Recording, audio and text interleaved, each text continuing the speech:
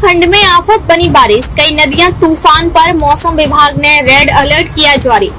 पहाड़ों पर आफत बनकर बरस रहा पानी, बढ़ रहा लैंडस्लाइड का खतरा। उत्तराखंड में पहाड़ों पर पानी का प्रकोप दिखाई दे रहा है। लगातार बारिश के बाद उत्तराखंड में कई जिलों में रेड अलर्ट जारी कर दिया गया है। हल्द्वानी से नैनीताल तक मानसून की बारिश तबाही मचा रही है। ज़्यादातर इलाकों में नदियाँ उफान पर हैं, तो पहाड़ों पर लैंडस्लाइड का खतरा बढ़ता जा रहा है। इस कारण उत्तराखंड की मुख्यमंत्री धामी ने सभी जिला अधिकारियों को अलर्ट पर रहने का निर्देश दिया है। बता दें कि बारिश से उत्तराखंड की 200 से ज़्यादा सड़कें बंद हो चुकी हैं। नैनीताल पिथौरागढ़ बागेश्वर ज़िले में सरकारी और गैर सरकारी सभी स्कूलों में छुट्टी घोषित कर दी गई है। इस बीच मौसम विभाग ने ऐसा ही मौसम बने रहने का अनुमान जताया है। इसलिए अभी खतरा टला नहीं है।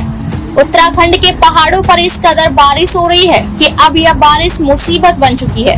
कुमाऊं से लेकर पौड़ी, गढ़वाल तक बारिश होने से नदियाँ उफान पर हैं। मौसम विभाग ने कुमाऊं के साथ चमोली, पौड़ी, रुद्रप्रयाग तक रेड अलर्ट जारी कर दिया है।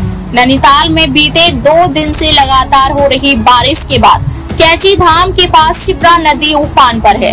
ऐसे में प्रशासन सैलानियों से लगातार अपील कर रही है कि वे नदियों किनारे संभल कर जाएँ, साथ ही ज़्यादा घर से बाहर ना निकले।